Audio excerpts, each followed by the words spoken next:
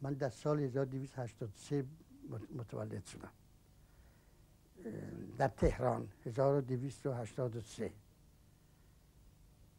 در تهران محله چال میدون بازار آهنگرها خونم خونم بود.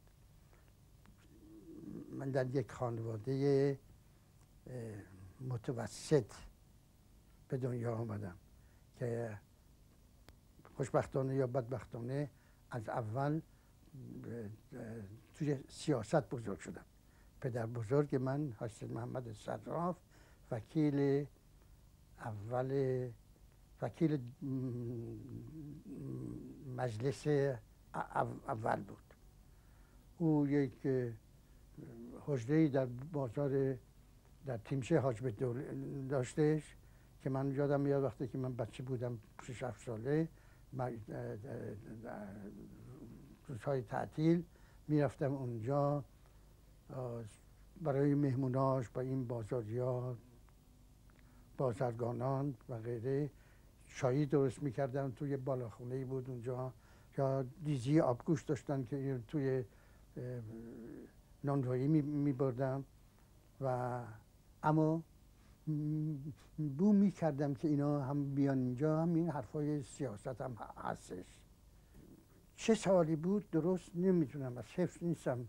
ولی گمان بکنم که درست اوایل جنگ بود که پدر من که وارد سیاست شده بود اینها موقعی که روس ها به رباط کریم رسیدند.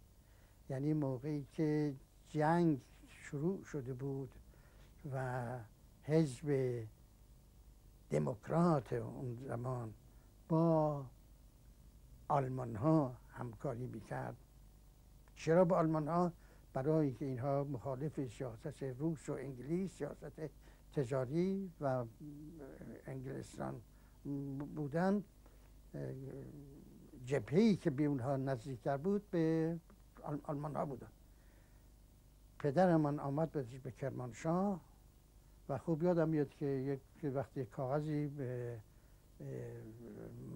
ما به مادرم نوشته بود که من الان که اینجا نشستم یک سفره پول جلوی من است این پولی بود که اینا در کرمانشاه بانک رو مصادره کرده بودن با این پول که البته دیگه به درد نمی‌خورد با این پول اینها آمدن به دولتی خواستن تشکیل بدن در کرمانشاه که نشده آمدن به اسلامبول از اسلامبول آمدن به اروپا به آلمان. سال 1921 بود که پدر من من چیز فرنگی شد بهتر یادمه. 1921 بود که پدرم آمدش به ایران و ما رو سه تا برادر من و دو برادر من رو و من رو برداشت رو همراه خودش آورد به آلمان. بعدم مال این سال 1927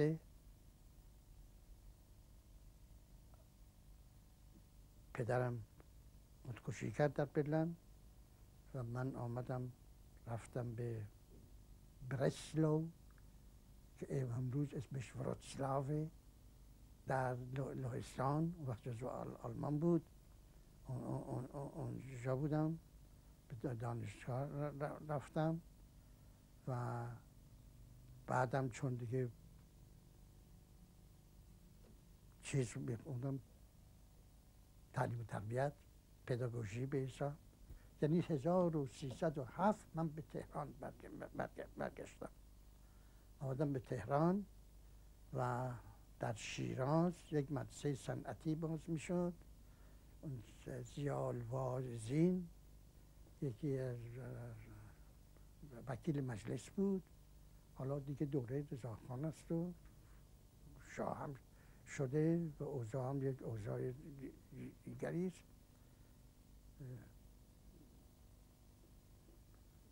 این زیالوازین یک مدرسه داشت باز می‌کرد در شیراز مدرسه صنعتی. اون دوره اول مشروطی که می‌گفتن که همه علم علم همه باید عالم باشن بچه همه باید به فرنگ برسیم که علم یاد بگیرن حالا یه قدی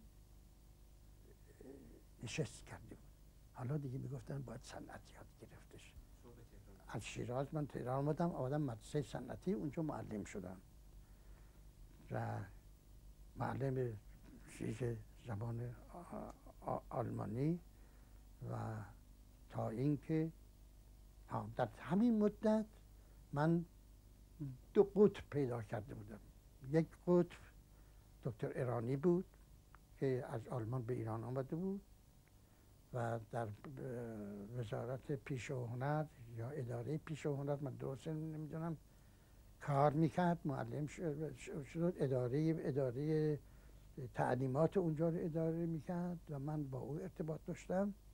یعنی به این معنا ارتباط داشتم که با دکتر ایرانی و ایرج اسکندری با هم ستایی مجله دنیا رو راه انداختیم. و نمی‌دونم دوازده شماره منتشر کردیم اونجا دیگه من با مارکسیسم آشنا شدم. کارمون این بود که با دکتر ایرانی می‌رفتیم. بعد از ظهرات و تا در تابستان در زمین خونهشون میخوابیدیم. یعنی دراز میکشیدیم و با هم کپیتال رو میخوندیم. بعد که مثلا هر دو منفصل شدیم دکتر ایرانی یک آدم خیلی با انضباطی بود. می‌گفت خب یک نیم ساعت میخوابیم. بعد از نیم ساعت باز بلند میشیم و کار می‌کنیم. با اونجا با هم کاپیتال رو خوندیم. بعد ایرج اسکندری آمد و قرار شد که ما ستایی با هم بشینیم. و کار بکنیم. از جمله کارهایی که کردیم همین مجله دنیا. خوب یادم میادش که وقتی که دفعه در جلسه اول که با ایرج اسکندری که در اروپا با برادر من مرتضا علوی ارتباط داشت و همدیگر رو میشناختن جزو دانشجویان چپ اون روز بودن به ایران آمد و با هم جلسه اول که نشستیم دکتر ایرانی بهش گفت قانون 1310 گذاشته بود.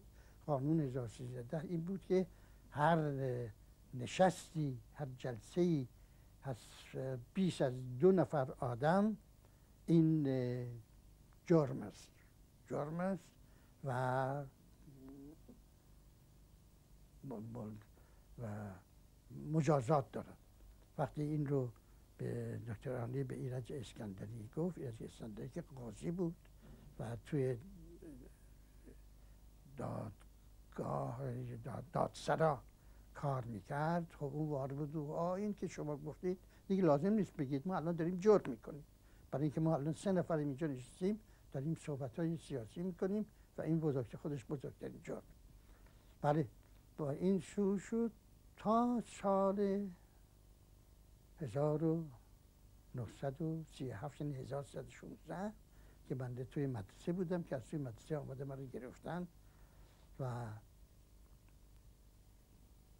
به پنج سال محکوم شدم. چهار سال و نیم در زندان بودیم.